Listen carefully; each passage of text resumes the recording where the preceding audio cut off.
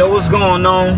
It's your boy Shaqq the Shark with another video banger. Make sure you like, subscribe, and let me know in the comments if you get any value out of this video because I read my comments, right? I want to make sure I keep giving y'all some sauce so you can change your lives, right?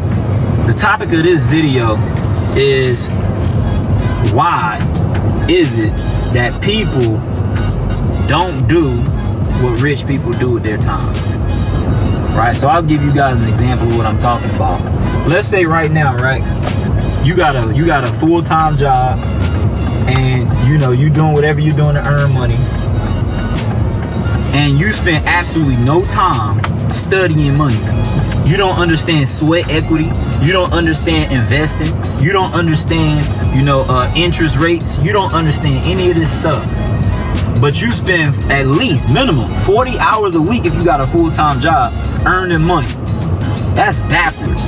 I spent when when when I realized that I didn't know anything about money, I did everything in my power to understand money.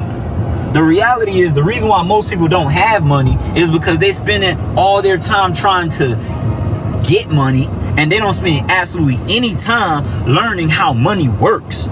You got to start investing in yourself, invest into information, invest into mentorship.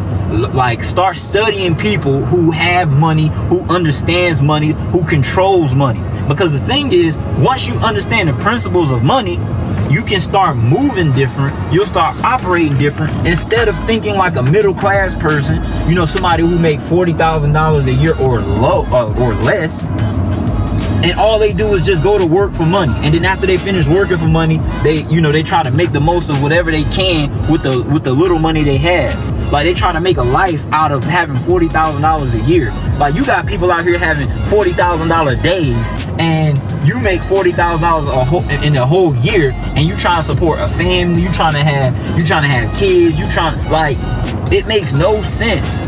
You need to start focusing on making sure you understand how this works. The thing that set me apart that changed my situation is the fact that I understood that I didn't understand at a certain point. And when I started studying how people who really, really make money get money and invest their money and how they understand money, that's when I stopped having to worry about money. So if you watching this video outlook and this is something that i you know I, I said it in my other video. Make sure you invest it into your education. Because if you're not getting educated man you might as well you might as well just go ahead and just you know just stop. Because you're really not going you're never going to be able to get over the threshold. You know like when you die when you pass on like are you going to leave a bill? Like your family shouldn't have to put together a GoFundMe for you because you passed away.